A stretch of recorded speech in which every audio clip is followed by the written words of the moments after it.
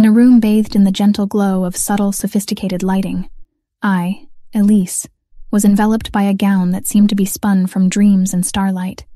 The ivory fabric, embroidered with delicate silver threads, whispered promises of a splendid future as it rustled softly around my ankles. It was a scene that should have been filled with joy and sweet anticipation. But the moment was usurped, infiltrated by a shadow that masqueraded as a friend. Vanessa. With every eye in the room affixed to her, the shroud of dread encapsulated me. Oh, Elise, how splendid we look, Vanessa trilled, twirling in her dress, a sinister reflection of mine, her eyes sparkling with mischief veiled as innocence. Murmurs cascaded through the assembly of guests, their glances flickering between Vanessa and me, their faces painted with astonishment and veiled disdain toward the evident mockery unfolding before them. And amidst the cacophony of hushed whispers and the clinking of glasses, my voice emerged, a tranquil stillness in the ensuing storm. How uniquely unoriginal, Vanessa. Her eyes, those pools of feigned surprise, stared into mine, and she took a step forward, the silk of our dresses brushing against each other in an almost melancholic symphony of what could have been a shared happiness. Unoriginal? Oh, dear Elise, I thought we could elevate your modest taste by mirroring it. After all, it's always been you who managed to capture my brother's heart with such ordinary charm. Every word was a dagger sheathed in honey, designed to wound under the guise of sweetness. I stepped closer, my voice barely audible yet firm quivering with a quiet rage and resolution. Your malevolence will never tarnish my joy, Vanessa. The corners of her mouth twitched ever so slightly, an unnerving blend of bitterness and satisfaction painting her visage as she stepped back, her voice lacing each word with a venomous allure. Let's allow the guests to decide which of us wore it best, shall we? My gaze, unwavering, met hers, and I nodded subtly, my heart encased in a newfound resolve. I would not allow the maliciousness, the palpable hatred emanating from Vanessa, to dictate the narrative of my life or my wedding day. The vow silently anchored itself within me as I turned away, refusing to gift her any semblance of victory. The evening proceeded, entwining joy and malicious satisfaction, genuine smiles and concealed smirks.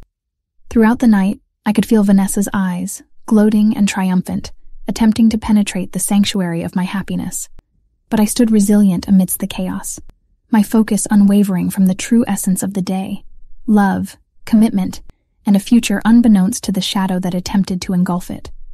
Vanessa may have mirrored my appearance, but she could not mirror my grace, my compassion, nor the love that enveloped me despite her treacherous intent. Every gentle touch and tender word exchanged with my husband served as a reminder that her bitterness had no place in our union. Her reflection, no matter how meticulously crafted, would forever remain void of the genuine warmth and kindness that defined me, Elise. As the day folded into the envelope of the past, and I basked in the glow of my vows and shared adoration, the seed of retaliation was quietly sown. Vanessa had unveiled her true self to me, unshackling me from the bonds of familial duty and tolerance. And so, I whispered into the serene night, Your deceit will be your own unraveling, Vanessa. In the lingering echo of those words, the first chapter of our entwined fates was solemnly inked, foreshadowing a turbulent journey where light would eternally combat the invasive darkness. The war, silent yet vehemently potent, had commenced. The air grew thick with tension, every gathering thereafter becoming a battlefield of veiled hostilities and silent accusations. I, Elise, wandered through the days, the echoing laughter from my wedding now replaced by the ominous silence that hung between my family and me, a chasm forged by Vanessa's treacherous duplicity and my resolute exclusion of her from my life. You always had to be the favorite, didn't you, Elise? Even now, you'd cast me aside just to have them all to yourself? Vanessa's voice slithered through the strained silence of the family gathering, her eyes gleaming with a concoction of defiance and feigned hurt.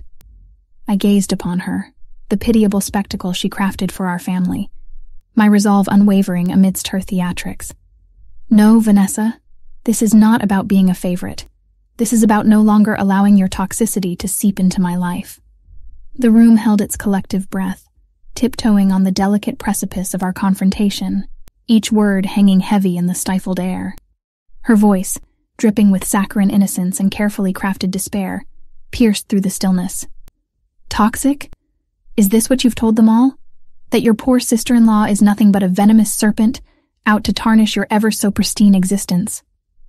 Her dramatic lament, however, could not mask the venom subtly lacing each syllable, nor could her feigned tears completely veil the triumphant glint that flickered behind her eyes.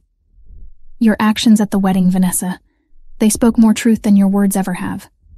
She stepped forward, her every movement calculated and deliberate. But Elise, I was only trying to honor your exquisite taste. How could such a heartfelt gesture be so wildly misinterpreted? The sorrowful shake of her head, the calculated catch in her throat. They were all performances meant to sway the audience in her favor. But I had seen behind the curtain, witnessed the malice that puppeteered her every move. Your gestures are never without malice, Vanessa. Your veiled animosity, your carefully curated antagonism. I won't allow them space in my life. Not any longer. A hushed murmur fluttered through the room, my declaration hanging heavily in the space between alliances and divisions. Family members cast glances, torn between allegiance and obligation, while others lowered their gaze, the turmoil silently bubbling beneath the surface. In the uneasy silence that ensued, my husband's hand found mine, his fingers intertwining with a gentle assurance. Elise, whatever your decision, I stand with you. His voice was a soft, steadfast whisper, a quiet anchor amidst the tempest Vanessa sought to unleash. Vanessa, her countenance momentarily flickering with an unbridled rage, quickly composed herself, her mask sliding seamlessly back into place. Oh, brother, how Elise has you ensnared in her web of deceit. But worry not, I shall not contest her witchery. I shall take my leave, and willingly so. Her voice rose, theatrically resonating through the room. Family, I bid you farewell, for I cannot dwell where I am so heartlessly castigated. Her departure, though melodramatic and elongated, brought forth a palpable relief, an exhale after a collective breath held far too long. But beneath the surface lingered the remnants of the rifts she had meticulously carved, the silent accusations and unspoken alliances that would forevermore linger in every familial interaction. I, Elise, had extracted the venom, but the sting, the residual pain of Vanessa's malevolence, would linger, a somber reminder of the shadow that would forever linger, hovering ominously over the illumination of my steadfast resolve. In the solemnity of her absence, I found a melancholic peace, a resolution shrouded in the sorrowful remnants of what once was and what could never be again. I, with quiet fortitude, had chosen exclusion over submission, choosing the pain of division over the relentless erosion of Vanessa's malevolence. And in that choice, a somber strength was forged, quietly enduring amidst the ensuing storm. Navigating through the unsteady terrain that my family had become in the wake of Vanessa's departure was akin to treading on a field of latent, unseen mines. The tensions were unseen yet ever present, the emotional turmoil submerged yet perpetually sensed. A fragile peace was maintained, a semblance of unity persisting amidst the undercurrents of lingering pain and unspoken resentment. It's unfair that you all perceive Elise as the beacon of truth and righteousness.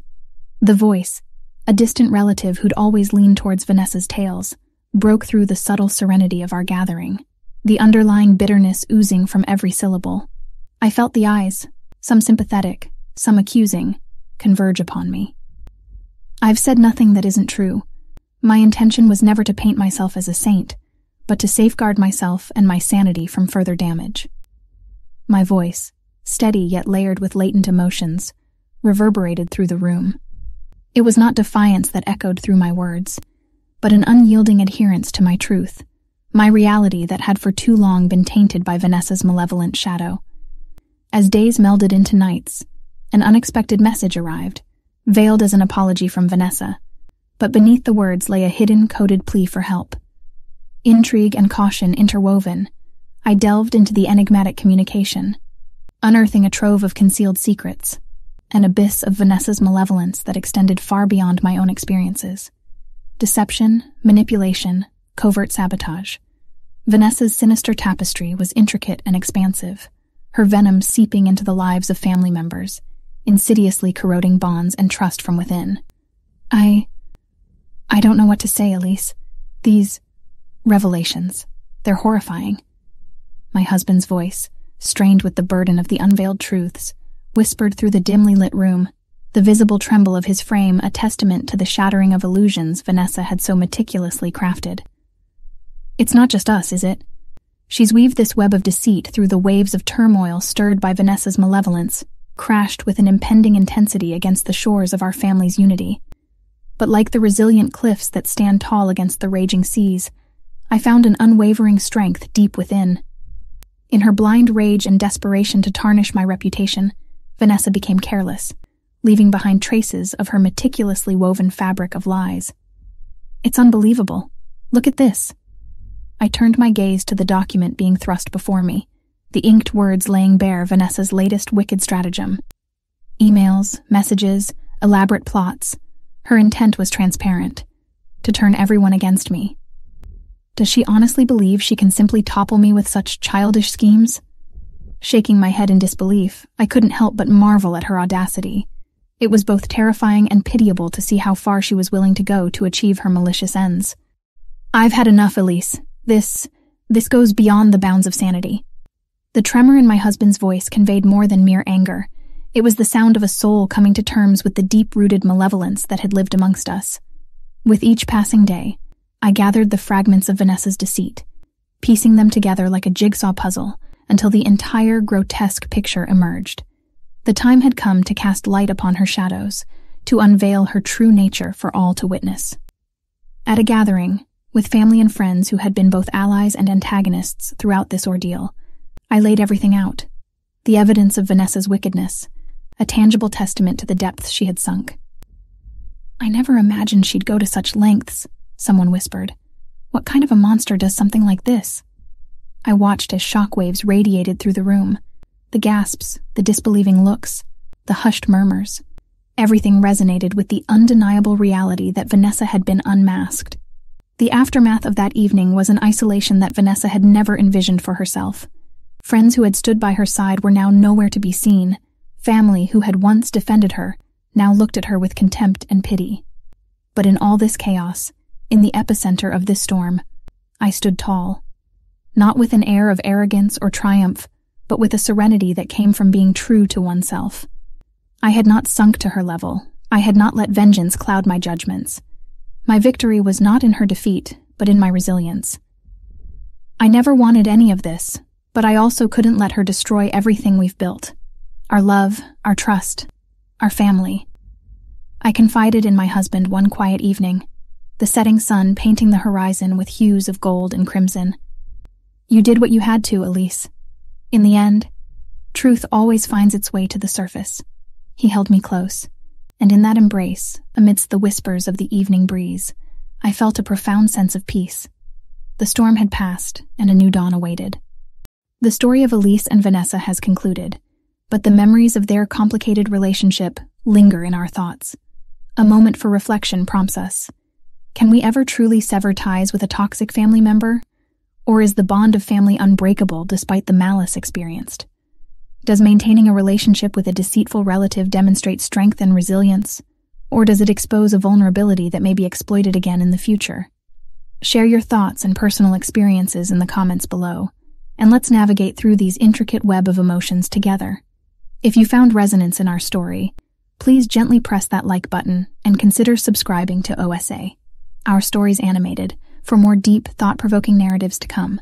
Until our next tale, take care.